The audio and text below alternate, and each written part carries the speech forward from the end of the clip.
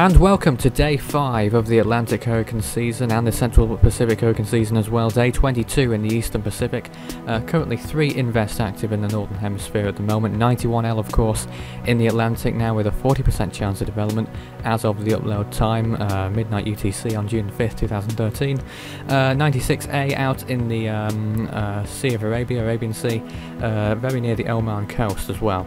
Um, and Invest 97 W, which is uh, centered just to the southeast of the Philippines, the southern island of uh, Mindanao in the Philippines. Uh, current Invest currently is uh, located close to that, with a low chance of development over the next few days at least. So that is there in the Pacific, and looking at the Atlantic here, Invest 91L, which is the one that is probably going to have the most attention in this uh, bulletin, bulletin number 10, um, and that's expected to move towards the north and then possibly the northeast into northern Florida, but that's coming up in the models a little bit later on.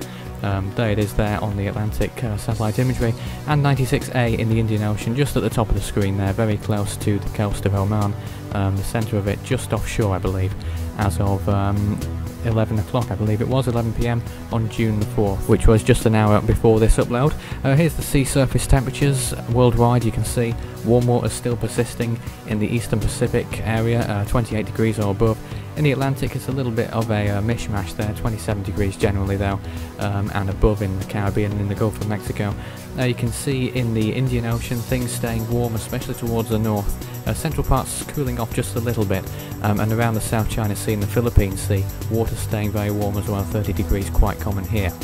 Invest 91 at the moment with winds of 30 miles per hour and an air pressure of 1009 millibars with a 40% chance of formation. That is, it's been that case for a little while now, a medium chance um, designated by the NHC. And um, judging by the models, uh, this is probably the best uh, we can uh, come up with for the next two days at least in terms of its track. Um, not really a word in its intensity yet before it um, intensifies and then we'll get a better idea, idea of that uh, when it occurs, when it becomes a depression or storm or what have you, if it does that of course. You can see here the latest satellite imagery of the Gulf of Mexico during the past 24 hours or so, a little bit less. Um, you can see the storm, the centre of the storm is currently centred over the centre, central Gulf of Mexico area with all the clouds associated with the storm out off to the east of the storm, you can see there. Um, Invest 97W, you can see the floater imagery here, um, just in that little channel between the Philippines and uh, the Indonesian islands. Um, you can see not much associated with the storm at the moment, but um, perhaps it will be worth watching. It, remains to be seen what will happen over the next day or two with that one. Uh, the CMC here, the model run, uh, you can see there at the very start the um, Invest 91 moving into the Florida coast and then uh, taking a ride up the northeast and then out off to the Atlantic as an extratropical storm and at the very end there you saw a little uh, another storm forming in the eastern Pacific. Uh, you see the ECMWF model here showing something rather similar. Uh, I'm not too sure about the intensity there. Perhaps there's a tropical storm into Florida, according to the ECMWF there. Uh, looking at the GFS Model 1, you can see again something fairly similar, a little bit less clear as to uh, how quickly it occurs, but it seems to be a fairly quick process of the low pressure centre moving over the Florida coastline and then off to the northeast um, at that moment there. Uh, the NavGem, uh, of course, is not quite as clear, but you can still see a low pressure system moving into the Florida coast, perhaps a little bit to the east, uh, or, as the other models are saying, um, towards the very eastern part of Florida, the very western part of Florida, to the west rather, not to the east, um, as it made landfall there. You see the predicted season scores here as of June the 5th, no change of course because there are no new storms. So it remains Ken in first place with 111, Typhoon Bob with 104 and Theo with 103, the top three there. Um, and of course there are now over 100 predictions for the Predictor Storm this year and there is still plenty of time to submit yours if you haven't already by going on the Force 13 website.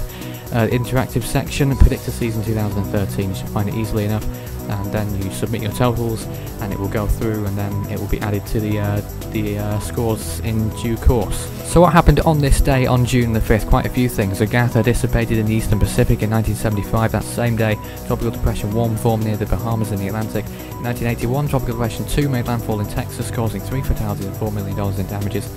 Um, a few other things, Tropical Storm Andres forming near Mexico in 1985, Subtropical Storm Andrew forming in 1986 in the Atlantic, In 1989, Adolph dissipated in the Eastern Pacific. 1990, Boris peaked as a Category 1 storm.